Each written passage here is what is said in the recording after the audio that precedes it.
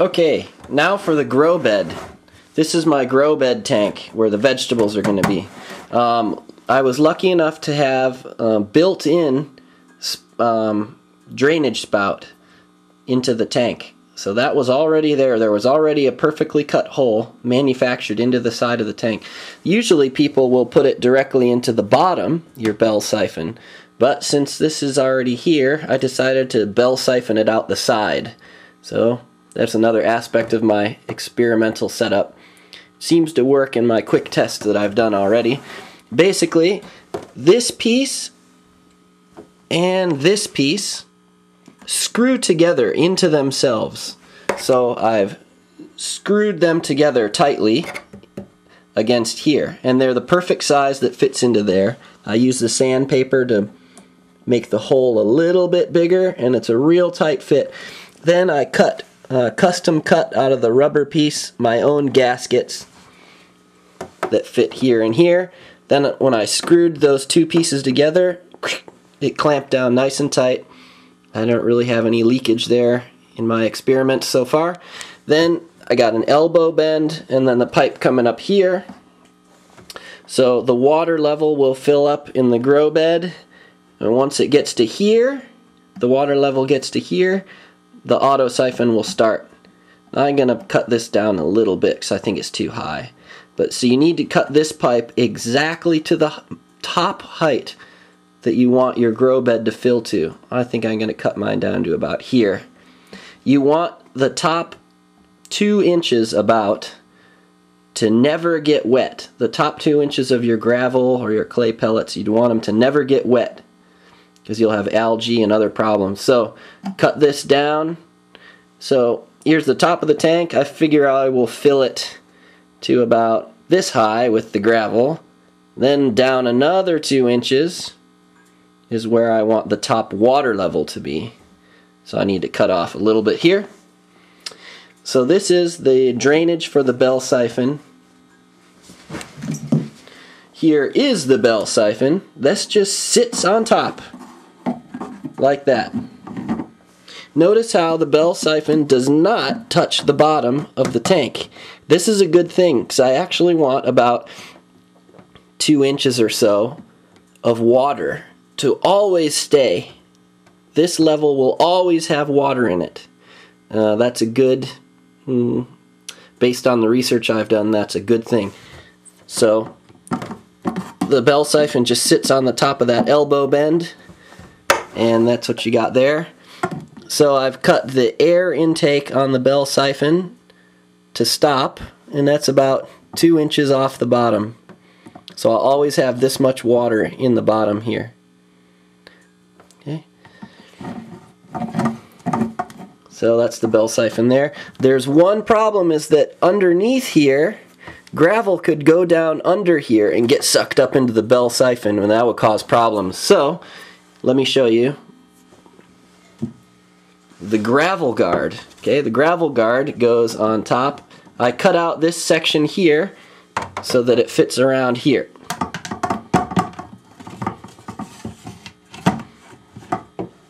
So now the gravel guard goes all the way to the bottom.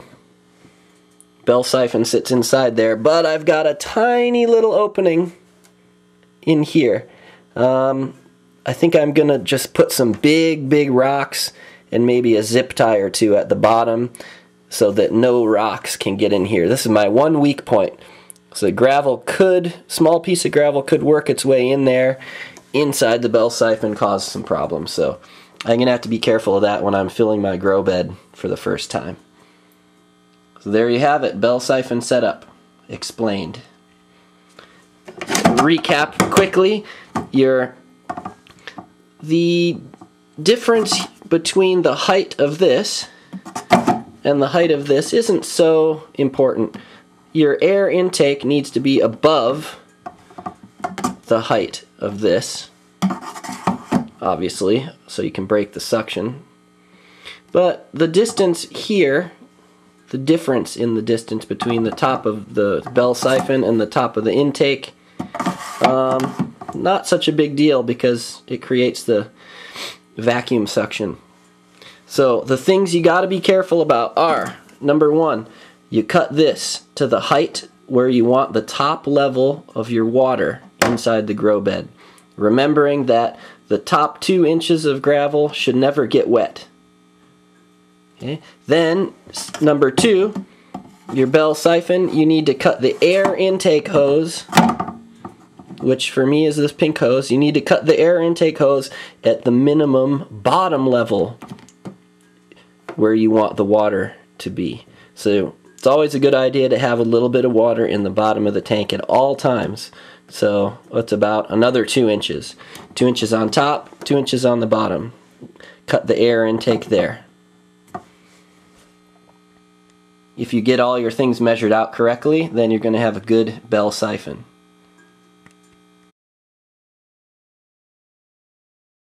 Bell siphon.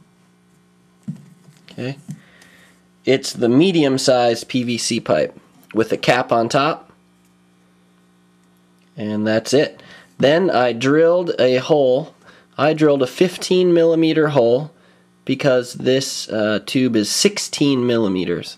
I drilled a 15 millimeter hole um, with a 15 millimeter drill bit.